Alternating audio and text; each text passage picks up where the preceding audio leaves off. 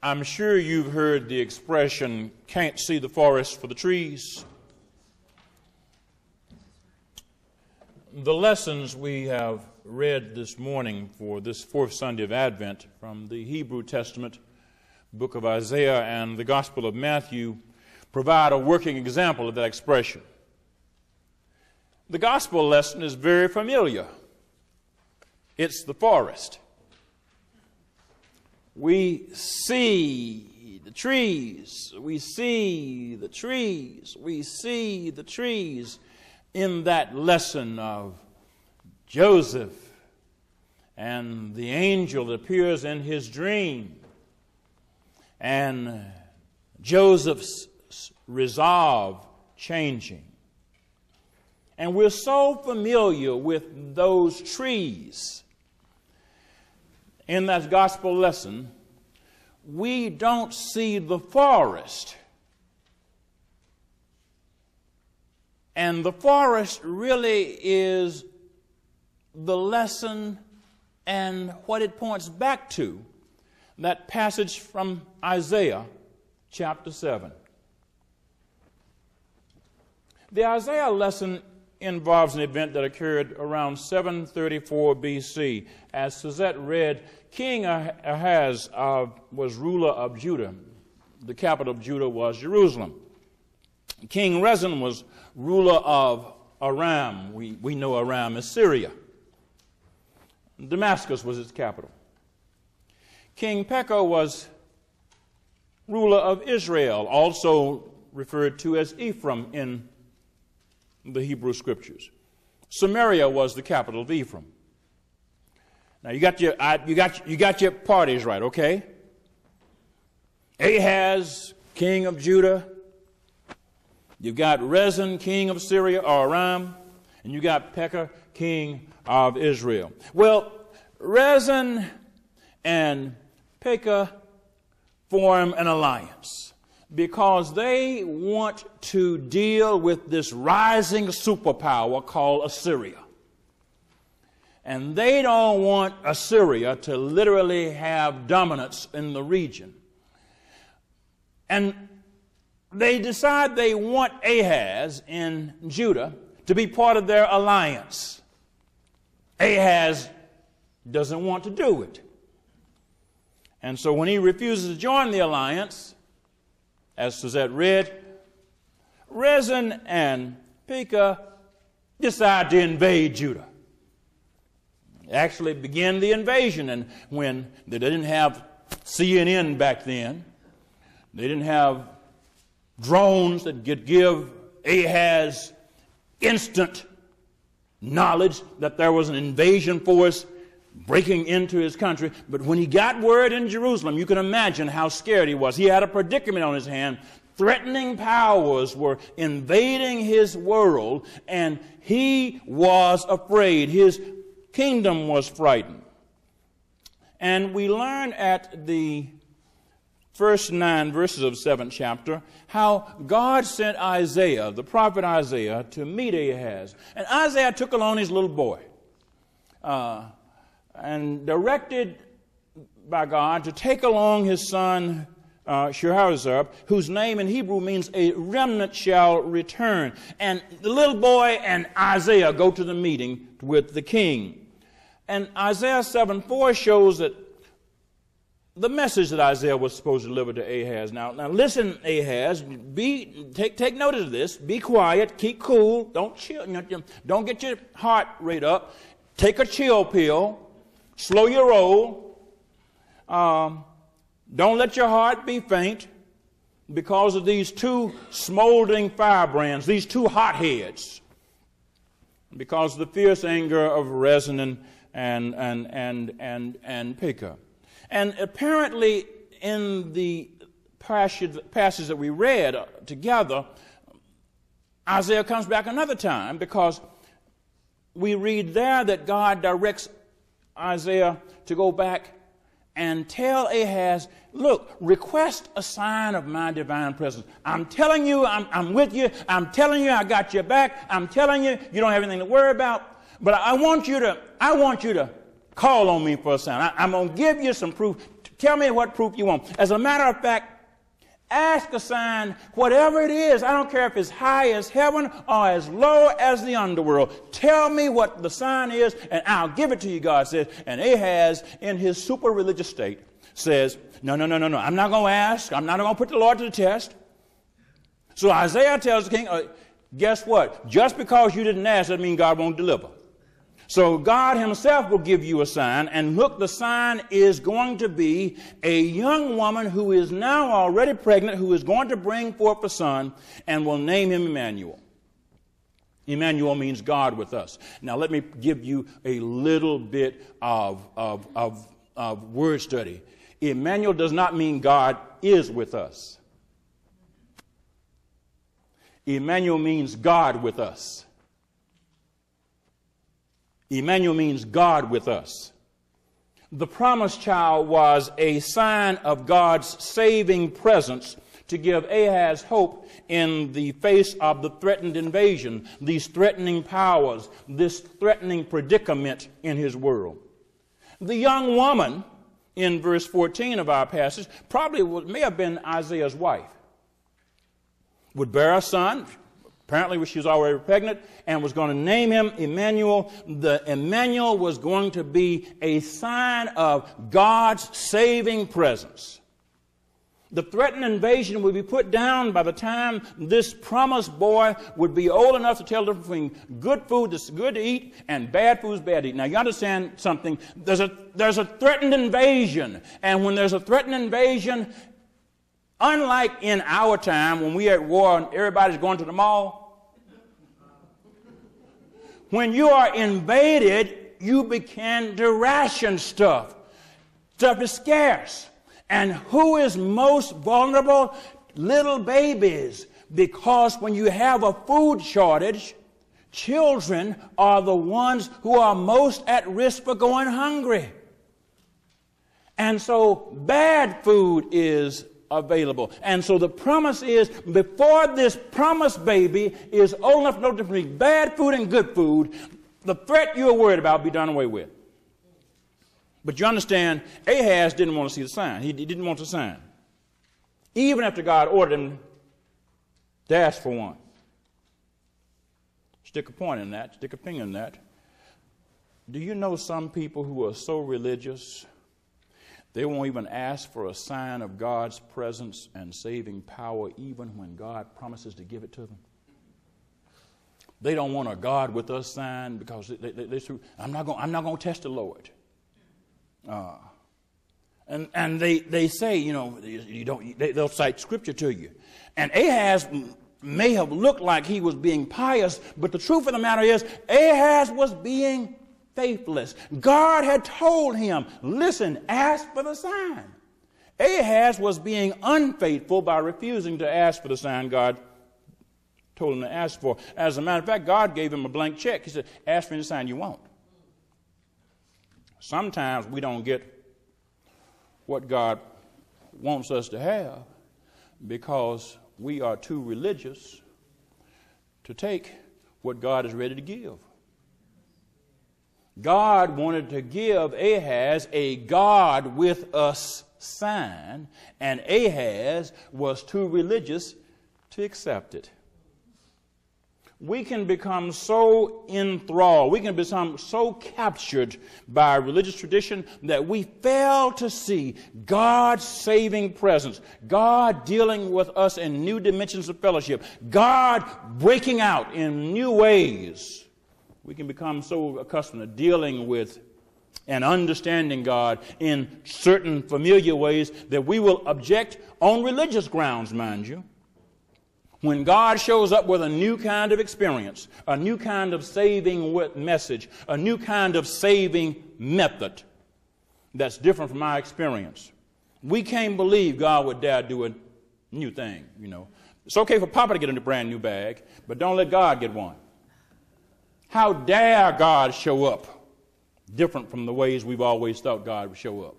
How dare God invite us to see God working in redemptive ways we don't understand? How dare God lead us down redemptive paths we haven't negotiated, haven't navigated, haven't traveled, especially if they are paths we've always thought were wrong. How dare God turn our neat little worlds upside down? How dare God move our holy cheese? How dare God break the rules we understand about how we deal with God, how we deal with other people, how we deal with situations, how God is God. And so we have, like Ahaz, issues. We have issues when God shows up different from the way we have expected God to show up. You dealing with some situations in your life? Where is God trying to show you signs that God has a saving presence? And could it be that God is trying to show you signs in things and ways and people you haven't thought of, haven't gotten used to, might not have even thought God could use, but here God is trying to break it out, and you say, No, I can't see that. I can't see where God is. I don't know what God is up to. Uh, why didn't God do something? You know, God is trying to break out. You, you remember the story about the guy who was on the, in the flood and, and, and, and, and praying, Lord, please help me. Lord, please help me. And somebody comes by in a boat and said, Come on down here. And I'm like, take you in. No, no, I'm praying for the Lord to come help me. No, no, no, no, no, no, no. No. And so go that way, and somebody comes by in a helicopter. Come, come, come, here, come out. I'll pull you off the rooftop. No, no, I'm waiting for the Lord to help me. And the guy winds up going bubbly, bubbly, bubbly under the flood water. And in his afterlife, he said, God, why didn't you help me? He said, Fool, I sent a boat and a helicopter.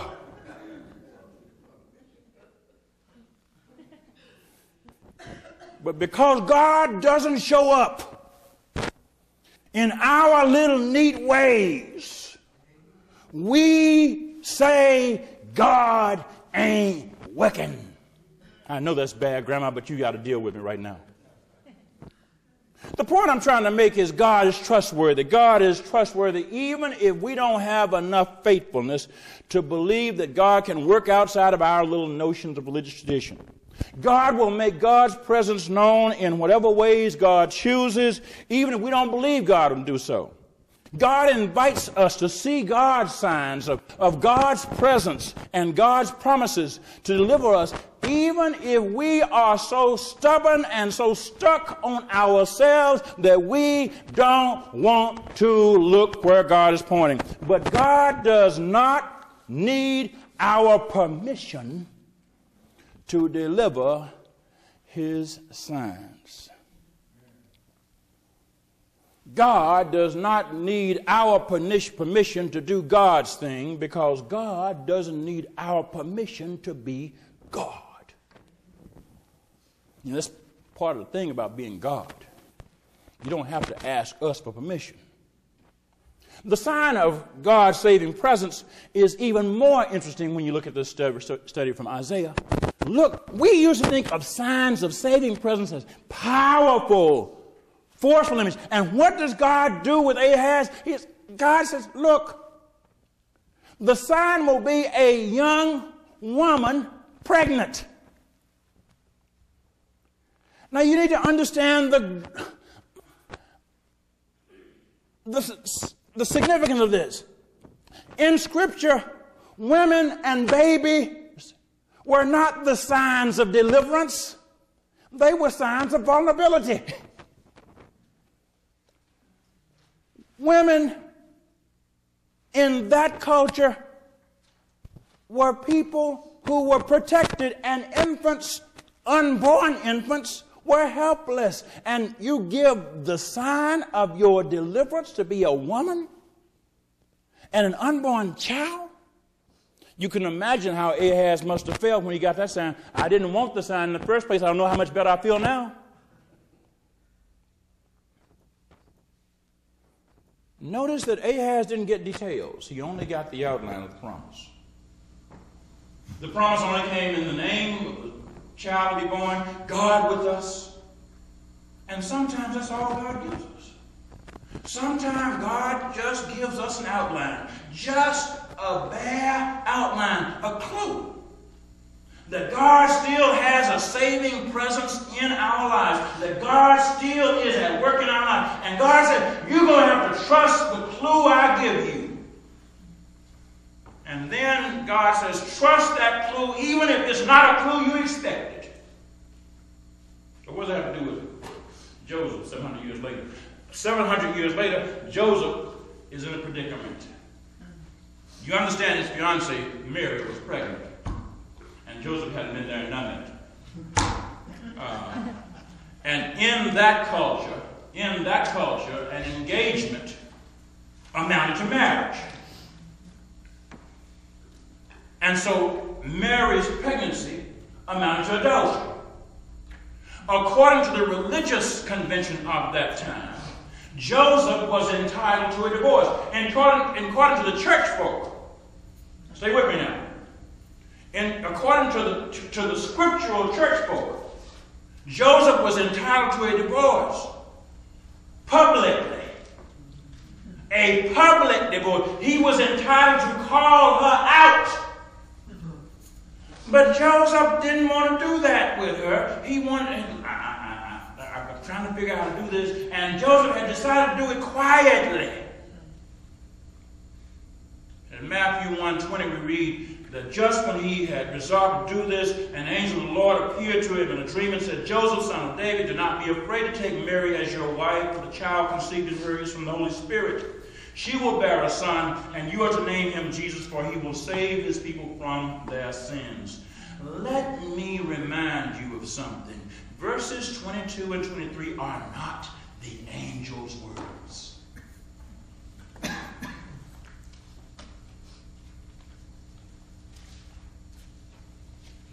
what are those words? All this took place to fulfill what had been spoken by the Lord through the prophet. Look, the virgin shall conceive and bear a son, they shall name him Emmanuel, which means God is with us. Those verses are Matthew's words.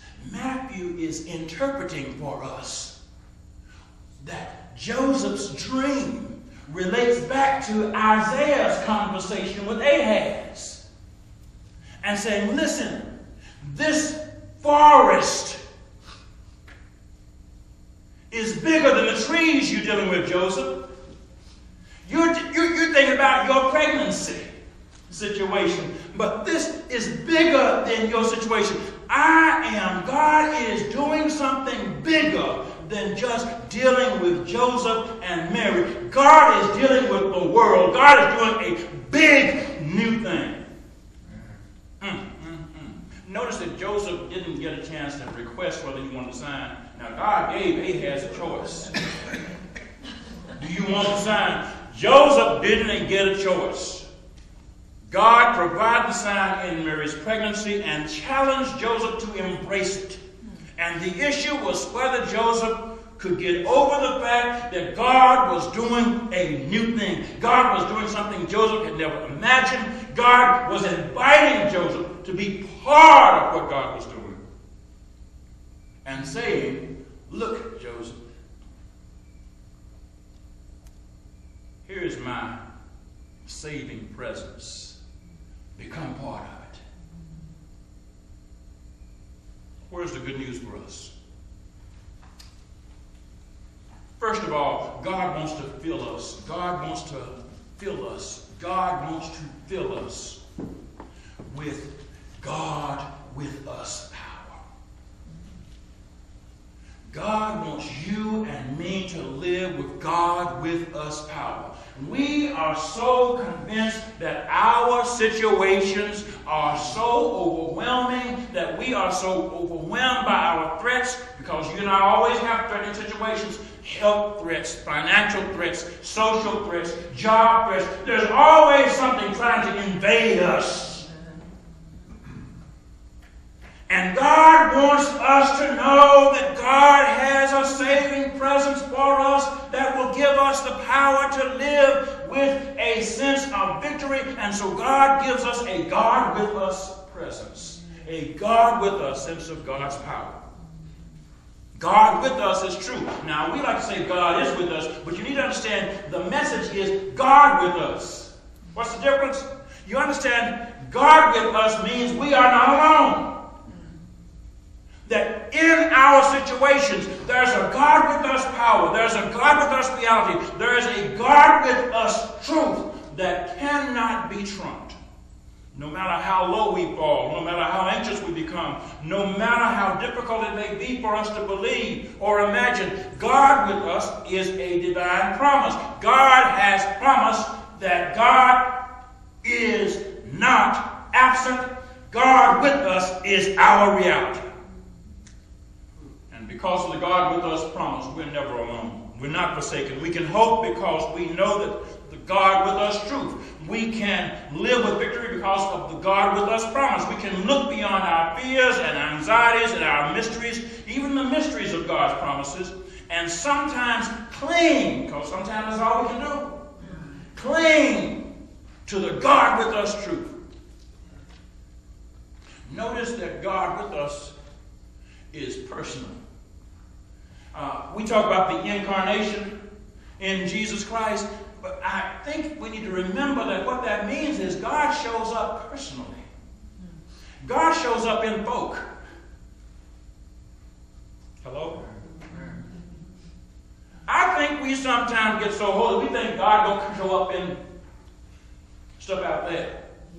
But you know the reason we have this Bible? The Bible shows us that God is always showing up in folk. It's a subversive kind of show up, though. They're not the kind of boat we expect.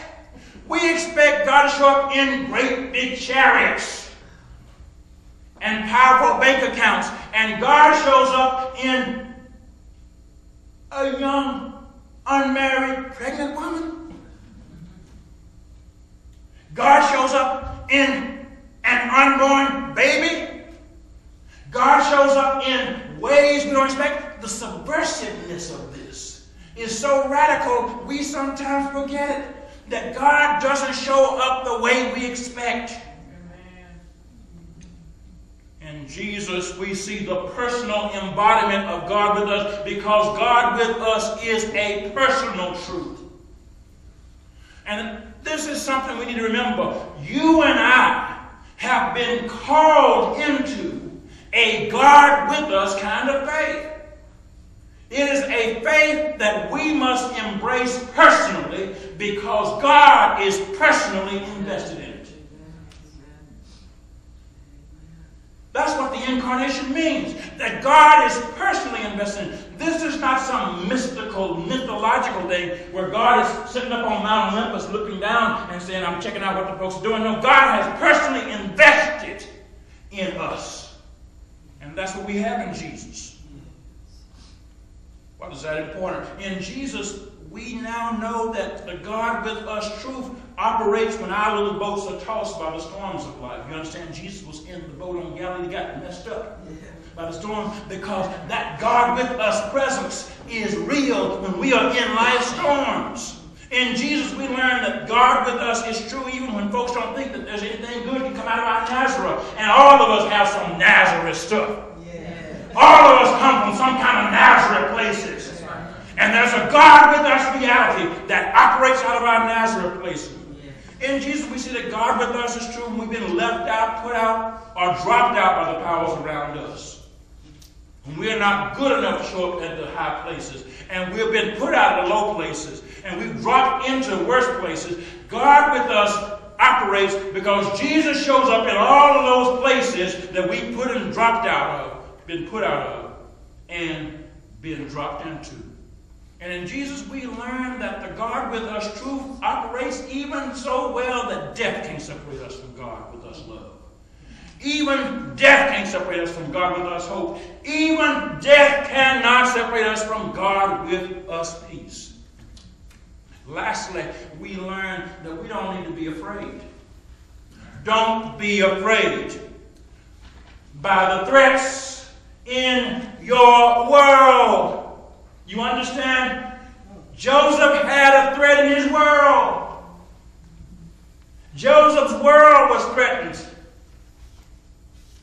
by this pregnancy he hadn't expected. And Ahaz's world was threatened by this invasion he didn't want. And the message to Joseph and to Ahaz is saying, listen, don't be afraid. Mm.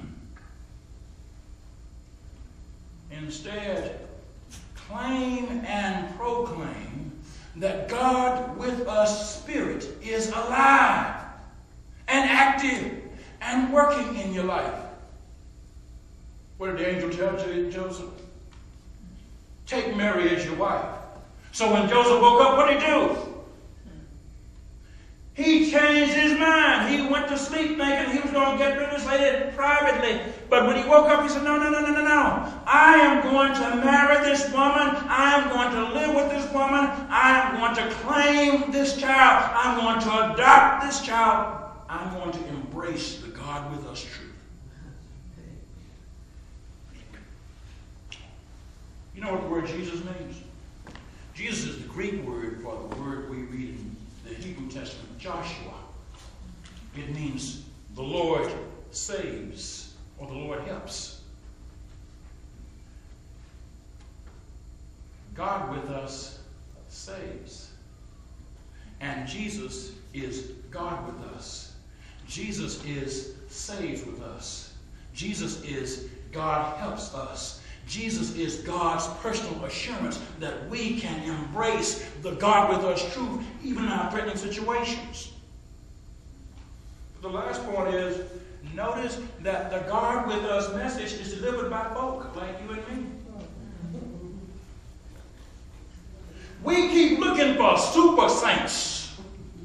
You know, folks with 50,000 halos and 500 page Bibles in the, in the pockets to show up and. We keep looking, but the Bible we have shows us that the God with us truth shows up in folk we don't think of as special. Who heard of Joseph before Matthew 1? Take Joseph out of the Bible and nobody knows who Joseph is. But because of the God with us presence, Joseph is known. But why is Joseph known? Because of the unknown, subversive, unmarried woman named Mary. Who ever heard of Mary? Ah, the God with us truth is personal, which means that you and I are called to be agents of the God with us truth. You and I are agents of the incarnation. The incarnation is not just something we believe, the incarnation is something we must live. Because God with us is true. This is our faith. This is our hope. This is our victory when all of the threatening situations come into our little worlds. And this is what God has called us to claim and say, joy to the world. God with us is true. Amen. Amen.